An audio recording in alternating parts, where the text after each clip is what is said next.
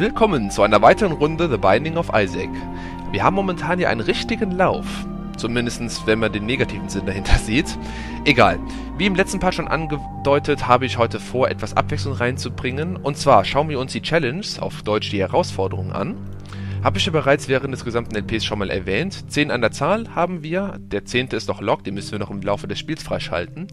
Wir starten oben mit der ersten Challenge, Dark Was the Night.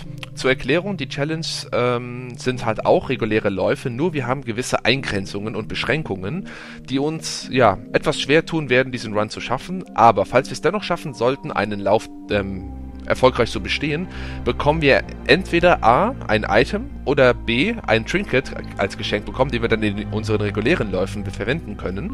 Deswegen lohnt es sich auf jeden Fall, diese Challenge bzw. diese Herausforderung zu machen. Ja, und wie bereits gesagt, wir fangen oben an mit Dark Was the Night. Los geht's!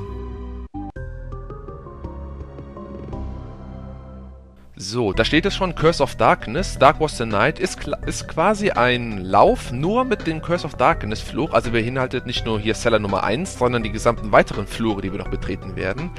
Deswegen wird es auf jeden Fall etwas schwieriger werden, ähm, Geheimräume zu finden. Und alles mögliche natürlich auch. Da muss man schon ein bisschen Orientierungssinn haben. Mal sehen, ob ich den hier haben werde und ob ich diese, ähm, diesen Lauf hier meistern werde wir. Und wir spielen mit Isaac. Den habe ich jetzt nicht ausgesucht.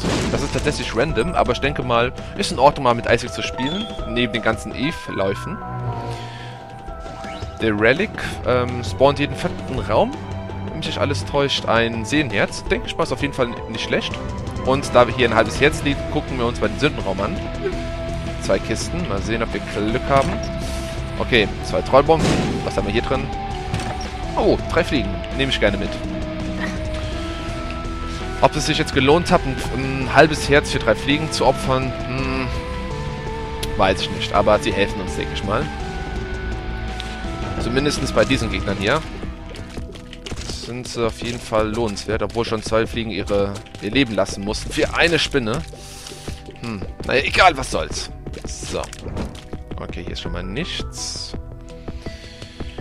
Ähm, wir hätten natürlich auch Glück gehabt, Glück haben können, um dadurch, dass wir eben in den Sündenraum gegangen sind, dass dadurch wir den Geheimraum in einem finden konnten, aber mir ist momentan auch nicht ersichtlich, wo er sein könnte und die eine Bombe möchte ich ungern jetzt so viel verschwenden. Schauen wir uns den Endboss an.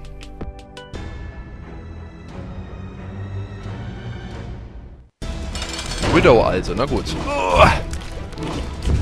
Ist ja eigentlich so der Standardgegner, möchte man ja sagen, in ähm, Cellar.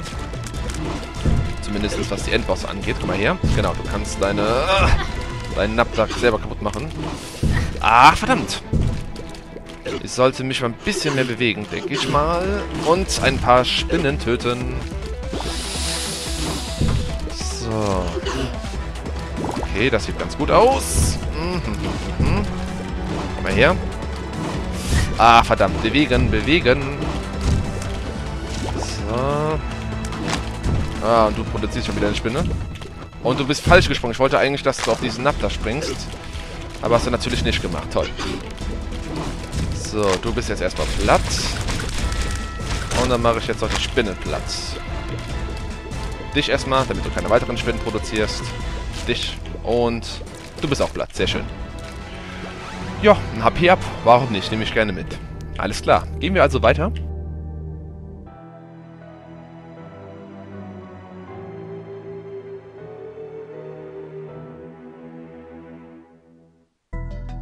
Und da sieht man es auch schon hier. Curse of Darkness, wie schon eben erwähnt, begleitet uns jetzt das komplette Spiel über. Und ich würde sagen, zwei Schlüssel für den Anfang ist schon mal eine gute Bilanz. Obwohl wir natürlich dadurch, dass wir, mh, hm, ja, eben kaum Möglichkeit haben, den Geheimraum zu finden. Komm mal her, du könntest vielleicht versuchen, mal die Seite da aufzusprengen, wenn du explodierst. Komm mal her. So. Nee, hätte ja sein können, dass da der Geheimraum ist. Und, oh, oh, weia, weia, weia, weia. Kommt, Kettenreaktion, Kettenreaktion. Komm schon. Yes, sehr schön. Oh, der Champion gibt nur eine dünne Münze, aber da, unser erstes Seelenherz. Bruder Bobby. Ja, warum nicht? Verfolgt uns, schießt zusätzlich. Nehme ich gerne mit. Mir wären andere Items zwar in diesem Moment jetzt lieber gewesen, wie zum Beispiel die Röntgenbrille. Das wäre jetzt zum Beispiel ein sehr schönes Item für die Geheimräume, aber ja, erstmal ein bisschen was für den Schadensoutput. Und ich denke mal, ich versuche einfach mal mein Glück und versuche, ob da vielleicht der Geheimraum ist. Nein, na gut. Zumindest haben wir noch eine Bombe im Petto. Hätte sein können, dass er da ist. Anhand der Raumaufteilung wäre es sogar ziemlich offensichtlich gewesen, dass da einer ist, aber leider war das glücklich auf unserer Seite. So, halbes Herz. Ja, das sammeln wir direkt ein. Weiter geht's also. So. Auch ein ziemlich doofer Raum, um ah, diesen kleinen Spinnen. Hätte ich jetzt ein paar Bomben mehr, dann würde ich mir den Weg freispringen, aber... Nein, nee, geht doch so. Gesagt, getan. Dankeschön. Haben wir die uns eben verschwendete Bombe wieder zurückbekommen. Gehen wir mal hier nach links. Schon wieder Spinnen. Und ich glaube, wir haben da links noch einen Weg, wo wir hingehen können. Und ich denke mal, dadurch, dass wir hier noch in den oberen Etagen, also Zelle 1 und Zelle 2, könnten wir auch nochmal dahin gehen, um vielleicht noch irgendwelche Items abzustauben. Das kann man, denke ich mal, hier oben auf jeden Fall noch machen. Die unteren Ebenen eignen sich eher nicht so dafür. Zumal wir ja auch keine Karte haben, die wir aufdecken können durch den Fluch. Ah, seht ihr? Es hat sich auf jeden Fall gelohnt. Noch ein paar Feuer, die wir ausmachen können. Eine Kiste mit... Naja. Mit einer Münze und einer Trollbombe. Ah, zwei Münzen, dadurch, dass wir das Feuer gelöscht haben. Haben wir vielleicht hier Glück? Nein. Ich überlege gerade, das war, glaube ich, der Raum, ne, den ich eben auch aufgesprengt habe von unten. Ah. Ich sollte nicht so nach dem Geheimraum suchen. Dadurch verschwende ich einfach nur Bomben und so, so zusätzliche Feuerkraft. Beziehungsweise eben Explosionsschaden, den wir benutzen können, um irgendwelche Steine aufzusprengen.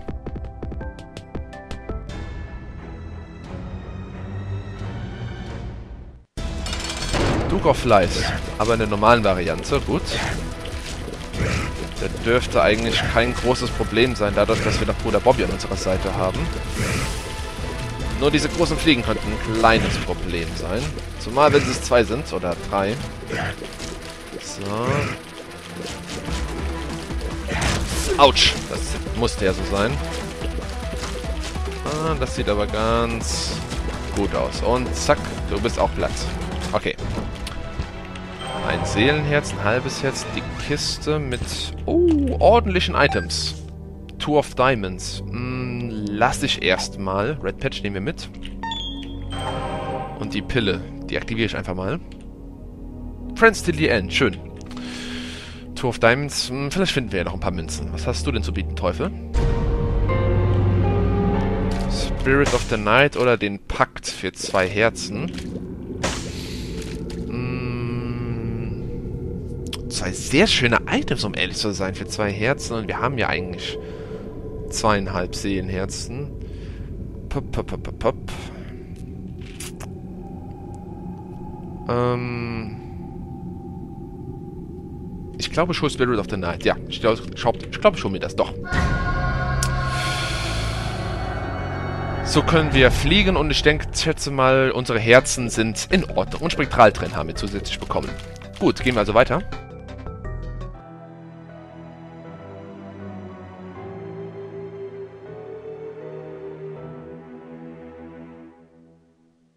Caves. Curse of Darkness, hallo. natürlich begleitet es uns weiterhin. So.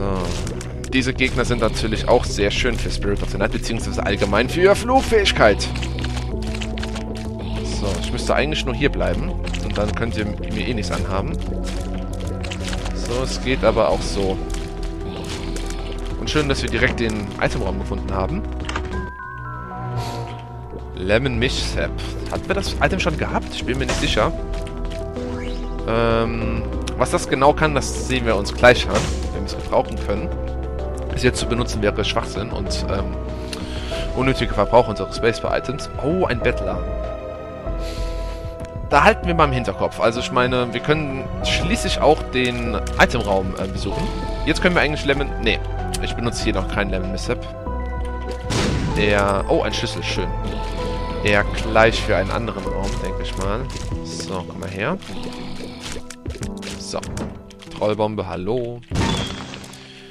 Ach, es wäre schön, noch ein paar Münzen zu finden. Also, durch die Tour of Diamonds Karte verdoppeln wir ja unsere, unseren Münzenvorrat. Und, ähm, ja. Dadurch hätten wir eben acht Münzen jetzt mo momentan. Und deswegen warten wir lieber noch, um, dass wir ein paar mehr Münzen finden, um unsere Münzen halt noch mehr zu verdoppeln. Komm, mach auf. So, da gehe ich auf jeden Fall rein. Hm. Lohnt sich jetzt eigentlich nicht, hier sein Geld irgendwie auszugeben. Deswegen denke ich mal, benutzen wir den Bettler. Sollen wir hier? Ne, Lemon Mishaps denke ich mal, wenn nicht irgendwelche gefährlicheren Gegner als diese Wärme kommen, benutzen wir es ähm, frühestens dann beim Boss. Wir schauen uns uns gleich mal an. Wir könnten natürlich jetzt auch in den Zirkenraum gehen, da würden wir nur ein halbes Herz verlieren. Machen wir auch mal direkt, würde ich sagen. Guppies Head. Ist natürlich auch ein, ähm, kein schlechtes Item. Wenn wir es aktivieren, dann... Oder? Irre ich mich nicht da? Genau, dann spawnt es eben vier dieser Fliegen. Ich glaube, ich nehme eher das mit als das. Nur zur Erklärung. Land Mister ähm, macht folgendes, wenn wir es aktivieren, tut es eine gelbe Fläche hier ähm, drauf auf dem Boden ähm, streuen. Und wenn wir darauf gehen, machen wir uns Schaden, beziehungsweise der Gegner nimmt dann Schaden. Aber man sieht, der Effekt hält sich lang an und der und die Stärke von Level Misstep ist auch nicht gerade so stark. Deswegen denke ich mal, Guppies Set durch diese vier Fliegen ist ein bisschen besser. Obwohl die vier Fliegen jetzt gerade nicht so viel Schaden angerichtet haben, aber naja, in, ins, aber in der Gesamtheit denke ich mal... Und wieso schieße ich eigentlich die ganze Zeit? Wir haben schließlich Spektraltrennen bekommen. So. Ist Set besser. Zumal man sieht da, es sich sofort auflädt wieder. So. Autsch, verdammt. Schön. Die Pille. Ach, ich aktiviere sie einfach. Balls of Steel, sehr schön. Im Zuge dessen, dass wir nur zwei... Oh, nein. Im Zuge dessen, dass wir eben nur zwei ähm, Herzen haben. Gut, jetzt aktivieren wir die Tour of Diamonds Karte und fliegen einfach nochmal zurück zum Bettler und aktivieren diesen. Waren wir eigentlich schon hier? Ja, ja, das war der Shop, okay. So. Und auch schön, durch die Flugfähigkeit verlieren wir keine Bombe. Oh, Dankeschön für die Bombe. Ein Seelennetz, sehr nett. Was hast du denn noch uns zu bieten? Wäre lustig, wenn er uns jetzt den Kompass gibt, denn der, denke ich mal, hätte keine Auswirkungen bei dem Curse of Darkness Fluch. Oh, Set. Aktivieren wir mal prompt. Na komm schon. Irgendwas. Hm, halbes Herz ist nicht verkehrt, aber... Ach bitte, komm schon. Ich will dich ungern in die Luft sprengen. The Moon. Oh, teleportiert uns in den Geheimraum. Schön. Schön, dass wir, dass wir diese Karte gefunden haben. Spider-Bite Slow-Effekt hatten wir bereits schon mal gehabt. Spekt... Ach, sieh mal an. Hier war also der Geheimraum. Spektral-Trend plus einen Slow-Effekt. Sehr schön. Ach, schade, dass der Bettler uns nicht mehr gegeben hat. Aber naja, gut. Wir haben quasi ein Item durch ihn abstauben können. Eben, dass wir diese Tarotkarte bekommen haben. Ist auf jeden, hat sich auf jeden Fall unser Geld gelohnt. In wenn man überlegt, in der, im Shop Moms Coin Purse, hm.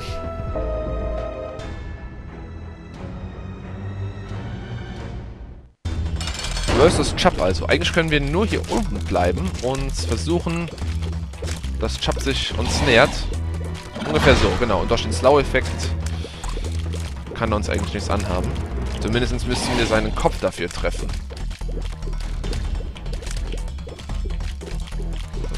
Damit der Slow-Effekt... So, genau, sehr schön. Genau, so kannst du... Oh, ho, ho, ho, das war sehr knapp. So kannst du bleiben, wollte ich gerade sagen. So, genau, komm bis zum Ende hier hin. So, sehr schön. Dann kannst du nach oben gehen. Sehr schön. Okay. Und... Zack. Zack. Ach, diese verdammten Würmer. Mal her. Genau, komm hier hin. So, okay. Und Slow-Effekt, sehr schön. Und zack, du bist tot. Und du bist auch tot. Oh, sehr schön. HP ab plus Tiers ab. Sollen wir den Bettler in die Luft sprengen? Nee, wir lassen ihn am Leben. Gehen wir also weiter.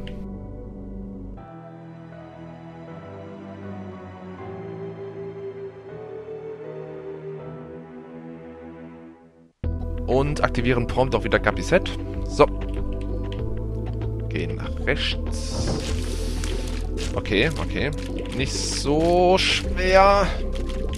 Autsch, das war doof. Ach, stimmt. Okay, okay. Nicht vergessen, die können auch durch Steine fliegen. Und ich glaube, das war einer der ähm, Fehler, die ich in meinen letzteren Runs gehabt habe, nicht wahr? Da wurde ja, ist ja auch ähm, ich durch diese Guppies getötet worden. Bumfriend ist das, nicht wahr? Ja, also Best Friend. Nee. Ah. Okay, aber wir halten uns ebenfalls im Hinterkopf, denn schließlich haben wir dadurch eine ähm, Sprengquelle, wo wir unsere Bomben nicht verschwenden müssen. So. Ja, für diese Gegner sind natürlich die Friends till the, till the End ähm, Fliegen besonders gut geeignet. So, und ja, natürlich für so Kisten lohnt sich Spirit of the Night natürlich allemal. So, und oh, ho, ho, ho. So. Cancer oder Red Patch? Ne, ich nehme Cancer mit. Zack. Und natürlich auch für solche Räume, ne? Und zacki, sehr schön. Gapi Set. Schön, dass er sich sofort nach einem Raum äh, wieder auflädt.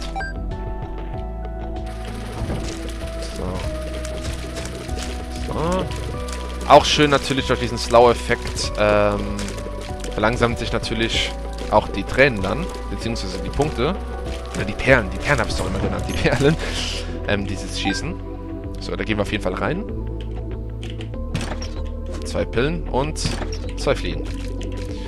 Dann schließlich verlieren wir ja nur ein halbes Herz, dadurch, dass wir eben fliegen können. Was hat das zu bedeuten? Bombs key. Ja, okay. Und das hier? Bad Trip. Hm, na gut. Haben wir eben fast komplettes Herz verloren. Ist nicht so tragisch. Gut, ich möchte aber dennoch noch ein bisschen weiter rumfliegen, oder? Hm. Okay, Plutoni ist in Ordnung. Ist von komplett in Ordnung, denn schließlich glaube ich, bekommen wir doch von ihm ein Gegenstand, oder? Ein Item. Oder ein paar Herzen, ja. Nehme ich gerne mit. Gut, ich überlege gerade. Okay, da geht's nach links. Und da drüber, darunter ist auch ein Raum. Also wir nutzen jetzt einfach mal den Bumfriend und legen ihn hier hin in der Hoffnung, dass hier der Geheimraum ist. Ah, nein, nein, nein, nein, nein, nein! Ah, egal. Ich möchte es dann noch ausprobieren. Na, okay. Ein bisschen blöd passiert. Zumindest haben wir jetzt zwei Möglichkeiten ausgeschlossen. Aber das reicht mir tatsächlich auch. Denn ich möchte jetzt nicht unnötig meine einzige Bombe für das verschwenden. Obwohl wir natürlich fliegen können. Und schließlich, ähm... Ja, wir haben gute Items, wir müssen nicht unbedingt in den Shop reingehen. Oh, KP-Set aktivieren wir natürlich. Gut, schauen wir uns den Endboss an.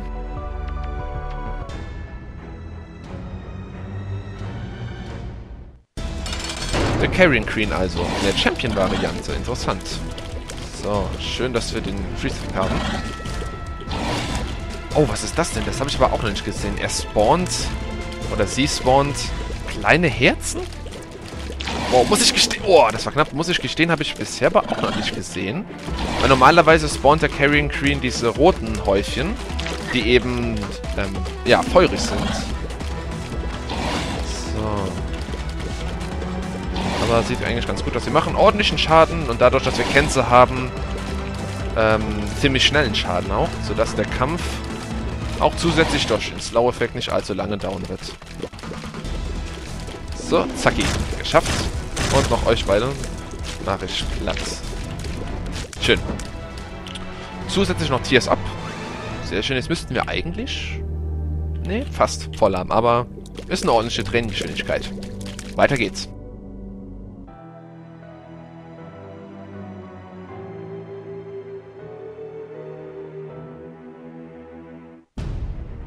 The Deaths Number One oder Nummer 1. Endlich.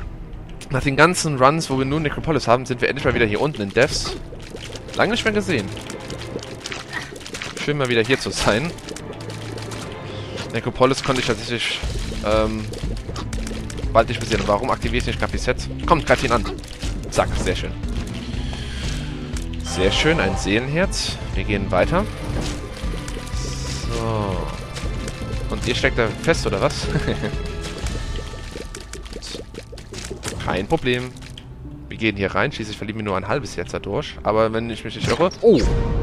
Oh! Schönes Item, aber im Zuge dessen, dass wir schon einen Deal mit dem Teufel gemacht haben, eher uninteressant momentan für uns. Und schön, dass wir dadurch kein ähm, Herz verloren haben. Denn schließlich haben, wurden wir direkt aus dem Raum da teleportiert.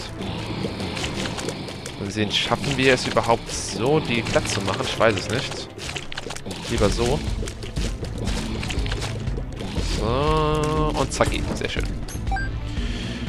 Sechs Münzen. Oh, super Envy. Wow. Na gut. Das dürfte eigentlich nicht allzu lange gehen, denke ich mal. Man sieht hier Slow-Effekt und... Au, oh, unsere ganzen... Unsere so hohe Tränengeschwindigkeit. Durch den Kleiderbügel, durch, durch Cancer. Ähm, dürfte das, wie gesagt, nicht lange dauern. Envy als Super Envy habe ich auch noch nicht so oft angetroffen. Aber schön, dass wir es geschafft haben. Eher einer der seltensten Todsünden. Zumindest, ähm, zumindest in der Champion-Variante eben. Auch selten erlebt, dass Envy hier unten sich blicken lässt. Ah, das ist ja auch doof. So. Und... Komm schon. Platz, okay.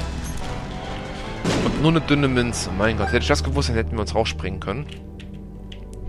So.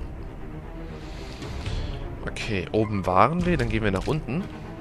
Oh, okay, auch ein schöner Raum. Oh. Sehr peinlich, immer sich von diesen Gegnern treffen zu lassen. Obwohl ich das in der Vergangenheit auch, auch schon des Öfteren geschafft habe. Eine Bombe, schön. Und ich denke mal, die goldene Kiste machen wir auf. Ja, schön. Nehme ich gerne mit. Oh, stopp. So. Okay. So. Oh, ah, Mist, das war sehr doofer Schaden. Zack, aber da ist wieder ein Seelenherz. Dank des Relics. Ah, ja, ja, ja, ja, ja. Mein absoluten Lieb... Oh, Dankeschön. das sind ja meine absoluten Lieblingsgegner. Neben den Herzen und den Köpfen. Ähm, den Masken meine ich natürlich. Bombs are key. Mm, nee, die behalten wir aber mal. Ah, sehr schön. Dann gucken wir auf jeden Fall auch in den Shop rein. Hoffentlich haben wir nicht das Pech und dort drin ist Greed.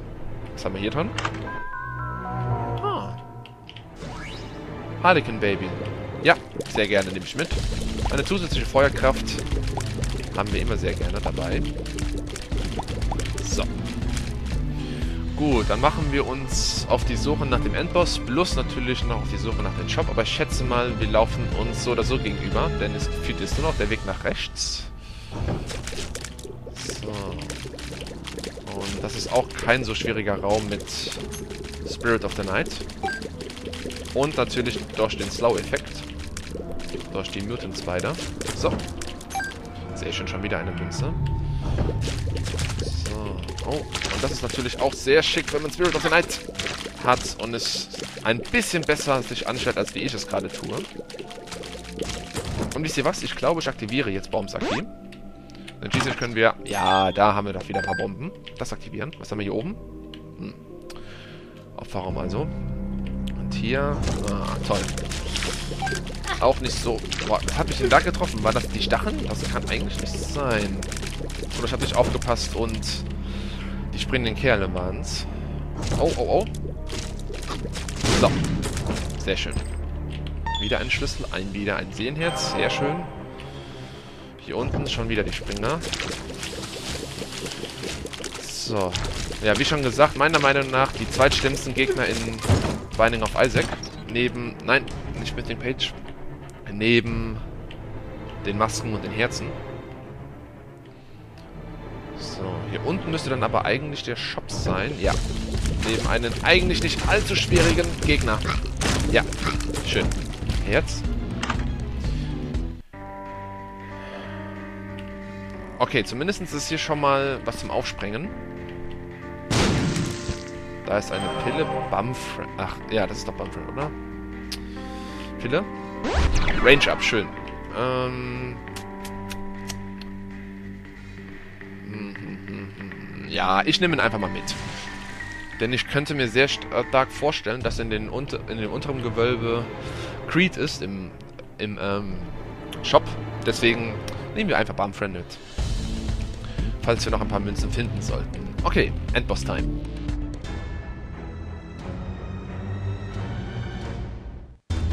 Aha, also befindet sich doch ein apokalyptischer Reiter auf unserem Weg. Bei Herausforderung Nummer 1. In diesem Fall ist es... Wow. Okay. Aber der dürfte eigentlich auch nicht... Auch mit Spektral... Oh, das war sau doof. Auch mit Spektraltränen nicht so schwierig sein. Und mit diesem... Guckt euch das an. Mit dem Slow-Effekt. Gar kein Problem. Deswegen war es ziemlich doof, dass ich mich da getroffen haben lasse. So. Wir gehen aber dennoch... Obwohl, Moment.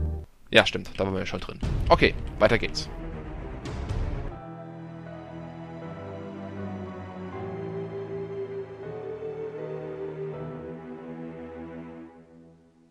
The Death Nummer 2. Schön. Gut, wir gehen nach unten und eine goldene Kiste machen wir auf. Äh, nee. Ich bleib bei Kenzer. Was haben wir hier? Oh, oh, oh, oh, oh, oh. Okay, okay, okay, okay, okay. Passt, passt, passt. Passt alles. Alles wunderbar. Schön. Nur schnell sein und versuchen, nicht in ihre Reichweite zu gelangen. Okay, das ist auch nicht so schlimm. Bis auf die Köpfe. So, okay, passt. Was haben wir hier dran? Ja. Ah, verdammt, ich habe doch den Bum-Friend. Tut mir leid, mein Freund.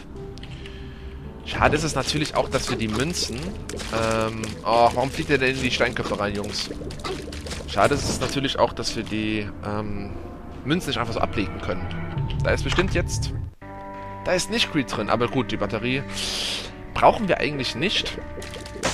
Es sei denn, wir finden noch ein super Item, deswegen muss noch ein bisschen dich gedulden beim Friend. Da ist unser Schlüssel wieder. Hm, wäre natürlich schön, wenn wir ein besseres Item finden können, beziehungsweise ein tolles ähm, Special Item, wofür sich die Batterie lohnen würde. So, was haben wir hier drin? Ein goldener Schlüssel. Komm, du nimmst die Münzen ein. Dafür, dass wir jetzt so weit unten sind, eigentlich nicht mehr so lohnenswert. Den goldenen Schlüssel. Hätten wir eher oben gebraucht, aber ja, warum nicht? So. Und Dankeschön. Flat Penny. Jetzt können wir uns vor Schlüsseln gar nicht mehr retten. Oh, ja. Das passt. Das passt. Okay, Bombe. Kapiset. Wir gehen nach unten.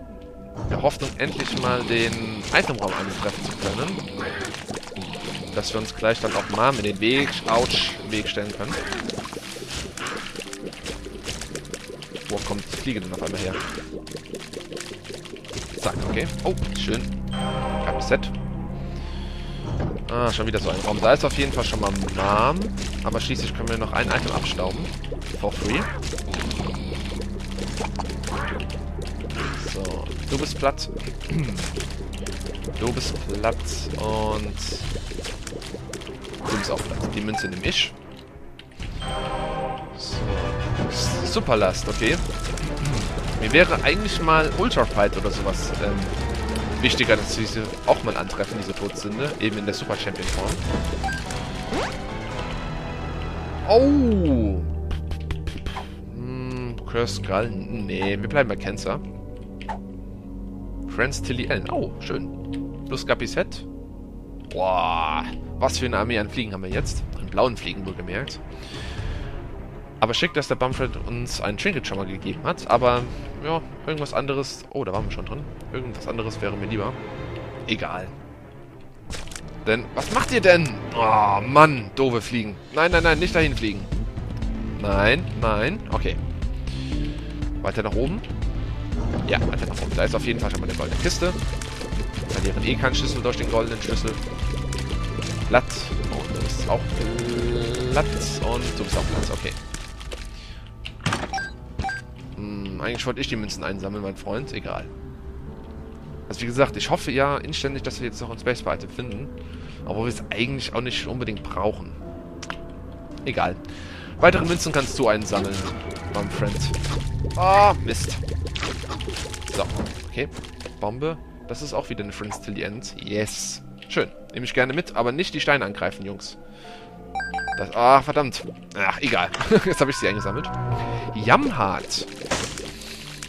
Interessantes Item, aber aufgrund dessen, dass wir so viele Seelenhetzen haben, eher unnötig momentan. Oder? Wisst ihr was? Ich nehme Yamhart mit. Doch, ich nehme Yamhart mit. Da würde sich definitiv die Batterie ähm, ähm, lohnen. Und im Zuge dessen, dass wir ähm, das Gapiset ja nun wirklich nicht so ja, so viel Schaden macht, es sei denn natürlich sind eher schwache Gegner, wo sie, wo sie die Instant killen, denke ich mal, ist Yamhat nicht verkehrt. Zumal natürlich noch alles in diesem Run passieren kann. Das sehen jetzt lasse ich erstmal liegen. Äh, äh, zwei Pillen. Äh, zwei, zwei Spinnen. Ich wollte schon gerade sagen, zwei Bomben. Balls of Steel. Was bist du? Tearstone, schön. Of Steel nehme ich gerne mit. Und Zacki. Und Zacki, schön. Also momentan haben wir wirklich eine wahnsinnig gute Gesundheit. Ah, ich würde sehr gerne jetzt noch ein paar Münzen haben für die Batterie. Mal sehen, ob wir uns ungefähr anschauen könnten, wo der Geheimraum ist. Vielleicht hier? Nein, hier. Dafür verschwende ich jetzt tatsächlich auch ein paar Bomben. Oh, sehr schön. Auf Anhieb gefunden. Och. Komm, zwei Münzen zocke ich. Vielleicht kriegen wir ja ein paar Münzen. Eine Trollbombe, na gut. Nein, die wollte ich holen. Egal. Dann denke ich mal, gehen wir dennoch in den Shop und holen uns was an, denn ich glaube nicht, dass wir irgendwo noch Münzen bekommen können. Nehmen wir uns einfach die Bombe mit. Gut. Lassen wir die Batterie eben links liegen. Denn ich könnte mir vorstellen, je nachdem wie gut es läuft, müssen wir so oder so nicht das Jammern einsetzen. Aber, um ehrlich zu sein, fühle ich mich dadurch ein bisschen sicherer. Oh, wo war denn jetzt? Ach ja, hier nach rechts und dann gleich nach unten, nicht wahr?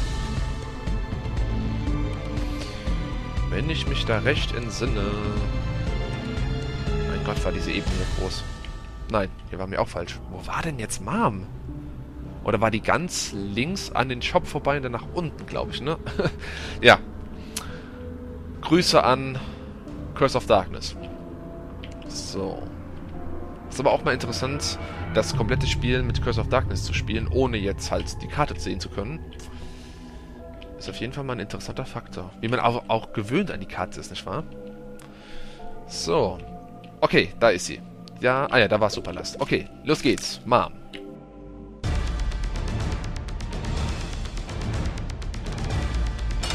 Das dürfte eigentlich nicht so schwierig sein, obwohl sie natürlich jetzt in der Champion-Variante ist. Na, wo ist der Fuß? Da. Ah, du lässt dich natürlich... Au! Oh, knapp, knappe Kiste. Lässt sich natürlich jetzt nicht reinlegen, nicht wahr? So, aber momentan sieht es eigentlich ganz gut aus. Obwohl mir natürlich die Creed-Köpfe... Ja, zu schaffen machen. So, komm mal her. Oh, Autsch. Verdammt. Creed, Creed, Creed, Creed, Creed. So. Ah, das sieht aber ganz gut aus. So. Komm her mit dem Fuß. Oder daneben so. Ah, schade. Ich hätte gedacht, du würdest den Creed-Kopf kaputt machen. Aber das war leider nicht so. Au, Hutsch. Nein, meine zwei Münzen. Aber die kann Bumfriend jetzt einsammeln. Oder machst du das nicht? Natürlich, die Münzen, die ich durch Schmerzen erleidet habe, beziehungsweise fallen gelassen habe, die sammelst du natürlich nicht an, ne? Das sind Münzen für dich. Egal. Und... Geschafft.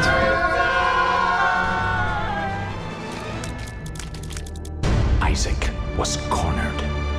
His mother, fueled with the desire to serve her God.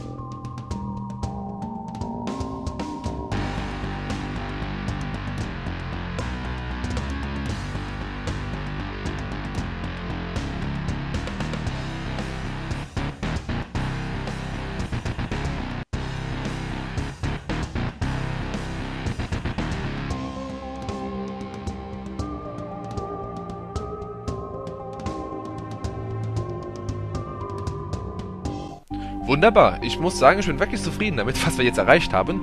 Das bedeutet, wir haben Herausforderung Nummer 1, beziehungsweise Challenge Nummer 1, Dark Was the Night, abgeschlossen. Die wird jetzt eben durchgestrichen. Ja, wir mussten tatsächlich nicht komplett, das komplette Spiel durchspielen, also Moms Hart besiegen oder eben Satan. Das kommt mit den weiteren Herausforderungen zugute. Nein, hier mussten wir tatsächlich, war die Aufgabe tatsächlich nur innerhalb von Curse of Darkness die Flure zu schaffen und eben Mom dann zu besiegen. Dadurch, dass wir die erste Challenge geschafft haben, wir gucken nochmal in die Stats hinein. View, Found Secrets. Da, The Candle has appeared in the basement. Wir haben eben die Kerze freigeschaltet, die wir jetzt eben im Spiel finden können. Sehr schön. Alles klar. Insgesamt bin ich sehr zufrieden mit diesem Lauf. Hat super geklappt. Wir haben Challenge Nummer 1 geschafft. Ich mache hier Schluss. Ich schaue mal, was wir beim nächsten Lauf machen, beziehungsweise beim nächsten Part von The Binding of Isaac. Ob wir uns da die zweite Herausforderung anschauen werden oder einen regulären Lauf machen. Hm, lasst euch überraschen. Ich sage hier Tschüss und bis zum nächsten Mal.